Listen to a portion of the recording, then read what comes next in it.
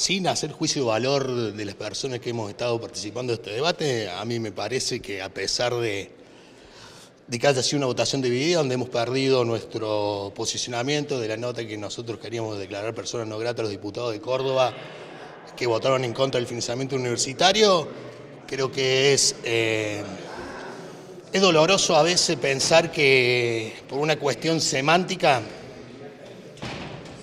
donde nos estamos jugando mucho dentro de la universidad, nos salga esta, esta nota que hace no un escrache, sino pone en, valor la importancia que, tiene darle la espalda a los trabajadores y la comunidad. Lo que decía la rectora es que, que haya ido dividida eh, hace un, da un posicionamiento como si la universidad estuviera fragmentada.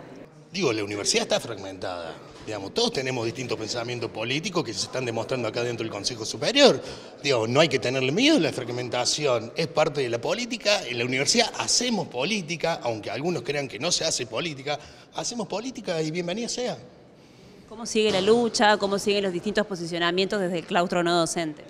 No, nosotros desde nuestro claustro vamos a seguir bregando por la universidad, por los gastos de funcionamiento, por lo salarial y sobre todo en defensa de la universidad pública, que es lo que hemos hecho siempre en los no docentes, dejando de lado nuestras batallas sectoriales, es apoyar siempre, como históricamente lo ha hecho el claustro, a la universidad de calidad gratuita y para todos.